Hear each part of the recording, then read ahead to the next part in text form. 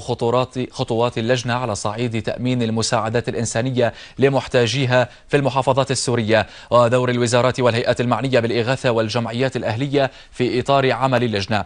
وأكد الرئيس الأسد أن الملف الإنساني وتداعياته يمثل أولوية بالنسبة للدولة ما يستوجب بذل مزيد من الجهود من المعنيين بهذا الملف وتسخير كل الإمكانيات واستثمار الموارد بطاقتها القصوى من أجل توفير الاحتياجات اللازمة من مأوى وغذاء ودواء لكل مواطن اضطر للنزوح بسبب جرائم الإرهابيين.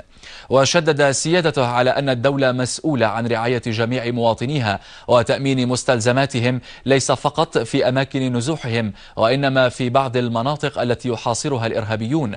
لافتا إلى أن الوزارات والجهات المعنية تبذل جهودا كبيرة في هذا المجال ونجحت في كثير من الحالات في إخراج المدنيين من المناطق المحاصرة وتكفلت بتأمينهم في مراكز إيواء. ولفت الرئيس الأسد إلى ضرورة زيادة التعاون بين الوزارات والجهات العاملة بالشأن الإنساني وإلى أهمية إيصال المساعدات دون تأخير ومتابعة العمل ميدانيا مع جميع الجهات المعنية داخليا وخارجيا بما يسهل العملية الإغاثية دون المساس بالسيادة الوطنية حتى تحقيق الهدف النهائي والمتمثل بعودة كل مواطن سوري إلى منزله آمنا مطمئنا. رئيس مجلس الوزراء شرح أن الحكومة حريصة على تقديم كل ما يلزم لتوفير جميع احتياجات الملف الإغاثي وتجاوز العراقيل التي تعيق ذلك من روتين إداري أو صعوبات لوجستية تسعى الحكومة لحلها.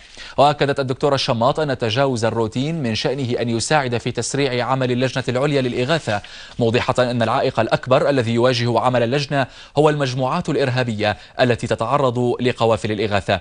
ممثلو المجتمع الأهلي والجهات الأخرى التي تشكل جزءا من اللجنة العليا للإغاثة قدموا بعض المقترحات التي تعزز دور اللجنة في العمل الإنساني وتسهل عملها.